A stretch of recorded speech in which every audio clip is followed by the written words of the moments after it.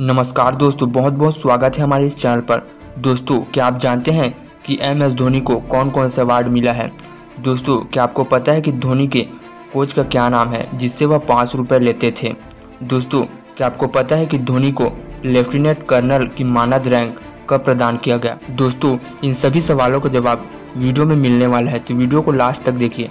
और अभी तक हमारे चैनल को सब्सक्राइब नहीं किया तो प्लीज़ हमारे चैनल को सब्सक्राइब कीजिए और बगल में आने वाले बेल के आइकन को प्रेस कीजिए ताकि आने वाले हर नए वीडियो को नोटिफिकेशन आपके पास सबसे पहले पहुँच सके। तो दोस्तों, चलिए वीडियो को शुरू करते हैं। दोस्तों, नंबर एक, महेंद्र सिंह धोनी का जन्म 7 जुलाई उन्नीस सौ इक्यासी में बिहार के रांची शहर में हुआ था। उनके पिता का नाम पान सिंह व माता का नाम श्रीमती देवकी है। नंबर दो, बचपन में धोनी का ज़्यादा टाइम क्रिकेट खेलने में ही बीतता था। क्योंकि उन्हें क्रिकेट खेलना सबसे अच्छा लगता था। नंबर दो, धोनी, मिदनापुर में दक्षिण पूर्व रेलवे के तहत 2001 से 2003 तक खड़गपुर रेलवे स्टेशन पर एक यात्रा टिकट परीक्षक यानी टीटी थे। हालाँकि वह ज़्यादा देर तक काम नहीं कर सके और कुछ समय बाद काम छोड़ दिया। नंबर पाँच 2012 में फेबर्स पत्रिका ने धोनी को सबसे अमीर क्रिकेटर बनाया।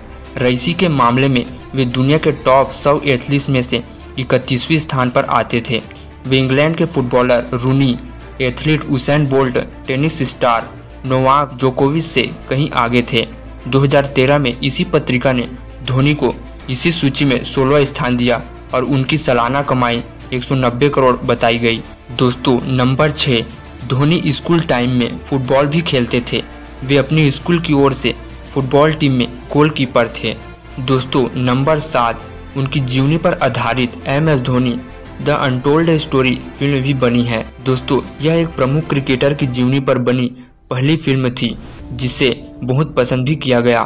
फ़िल्म में बॉलीवुड के अभिनेता सुशांत सिंह राजपूत ने एम एस धोनी का किरदार निभाया था। नंबर आठ, धोनी हमेशा कहा है कि सेना उनका पहला प्यार है और उन्हें एक नवंबर 2011 को लेफ्टिनेंट कर्नल की मानद रैंक प्रदान की गई।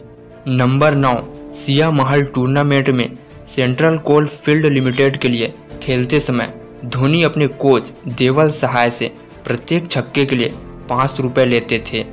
दोस्तों, नंबर दस, धोनी ने कई पुरस्कार प्राप्त किए हैं, जैसे 2006 में ICC one day player of the year और दोस्तों, धोनी भारत के प्रथम खिलाड़ी हैं, जिन्हें यह सम्मान मिला। सेकंड, राजीव गांधी खेल रत्न पुरस्कार। और 2001 में भारत के चौथे सर्वोच्च नागरिक सम्मान और पद्मश्री पुरस्कार से सम्मानित है। दोस्तों, नंबर 11 धोनी को क्रिकेट के सर्वश्रेष्ठ और तेज विकेट कीपर के रूप में जाना जाता है। तो दोस्तों, यह वीडियो आपको कैसा लगा?